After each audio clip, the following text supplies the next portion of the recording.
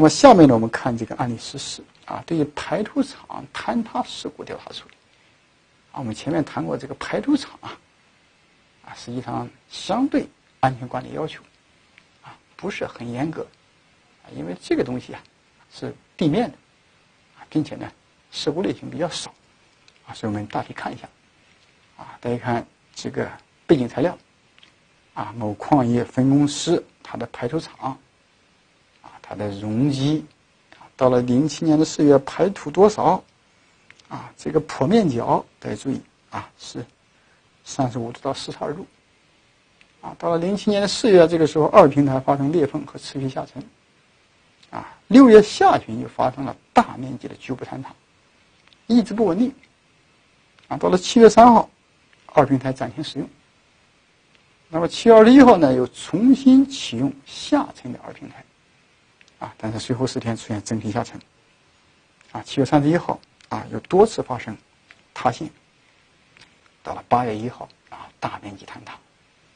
这个坍塌的量以及它的这个黄土梁挤压移动，造成了最大移动距离达到七十五米，推垮掩埋了五十米以外的部分房屋，造成四十五人死亡。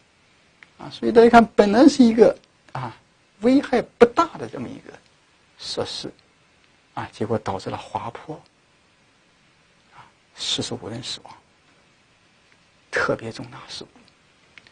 那么调查认定啊，这个特别重大排土厂坍塌事故的直接原因，啊，是排土厂的二平台，啊，是玻璃的黄土和碎石混合山体，强度低。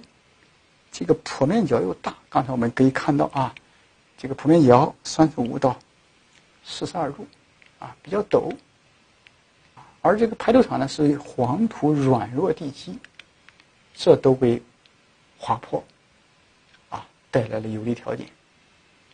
由于这个啊降水排渗，降低了稳定性，发生了大面积坍塌。当然是一个特别重大事故，所以这个调查报告经过国务院批复之后，啊，追究了有关责任，啊，有关的这个重大责任事故罪，啊，当然这个呢我就不再看了。那么在这个案例当中，教材谈到的注意事项，啊，他说对于危险级的排土厂，企业的没有按照规定停产整治，没有采取处理不良地基滑坡。啊，将各排土参数修复到设计范围内，疏通加固修复排水沟这些措施，啊，所以它就涉及到排土厂的分级、整治的问题。因此，我们这些知识点啊，这个地方说一下啊，因为这是我们这十五个案例里边唯一一个涉及到排土厂的问题，所以我们也说一下。大家还记得我们在前面讲到尾矿库的时候？啊，我们的尾矿库的安全度分级啊，危库、险库、病库、正常库。但是排土厂呢，它是分三类：危险、病级和正常。啊，所以和尾矿库啊有一点区别。那么我们主要看一下哪些情况是危险库。大家看。坡度大于二十五度的基底上顺坡排土，啊，软弱层厚度大于十厘米的基底上排土。而我们刚才讲那个排土厂的坡面角到了三十五到四十二度，你大于二十五度就是危险库，啊，所以刚才我们是危险库的整治不行。啊，这个排土厂大面积非均匀沉降开裂，啊，出现滑动迹象。啊，排土厂排土平台为顺坡的，啊，那么汽车排土厂没有建立安全车挡，啊，有关的距离达不到规范要求，这个坡的汇水面积大，而没有修排水沟，啊，或者虽然修了，但是排水沟被严重堵塞的，啊，它的安全系数小于一点零的，啊，这六种情况都属于危险库，啊，危险的排土厂。那么，下面第二种情况是病基的，啊，再看基地条件不好，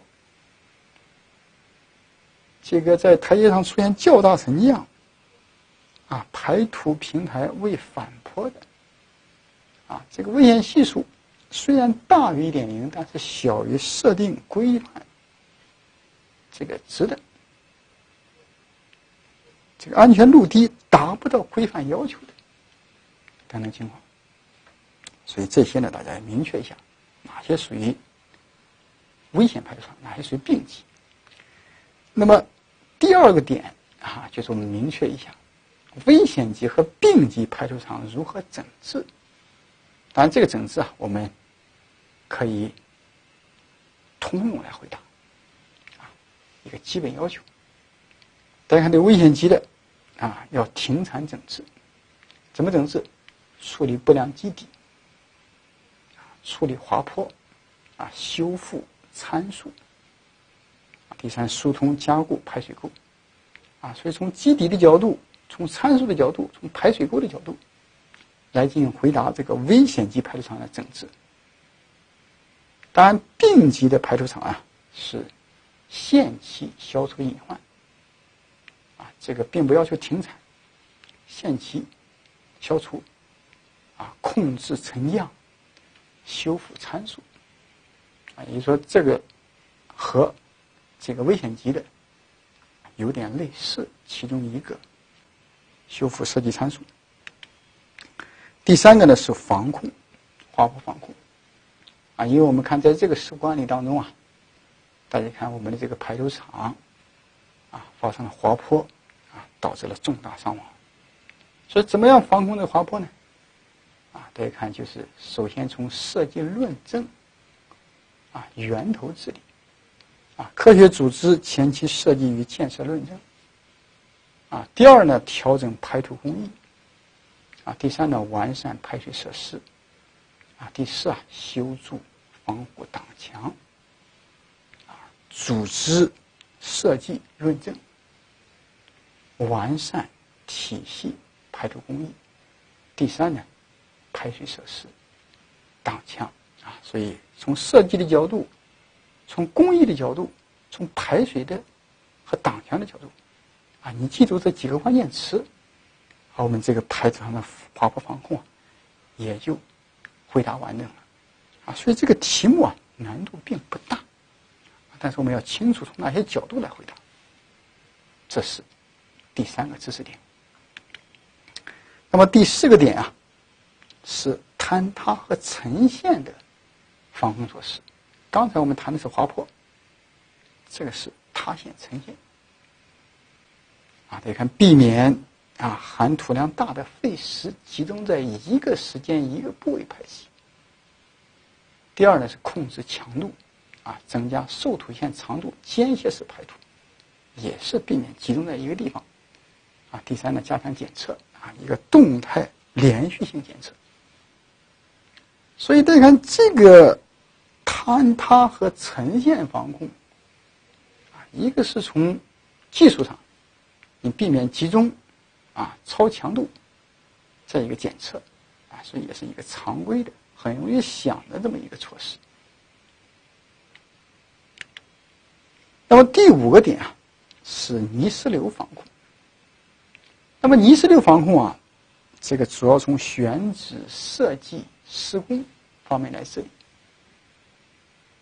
所以大家看，第一，啊，选择最合适的场址；第二呢，控制排烟顺序；第三，设立消能设施；啊，第四啊，处理基底；啊，第五是坡面防渗；第六啊，是植树造林，避免水土流失；啊，所以从场址设计、施工，啊，这些角度谈一下，就可以。这是泥石流防控啊，当然我们这是排土厂啊，实际上也适用于这个啊其他一些泥石流防控，所以这个点啊，大家也看一下。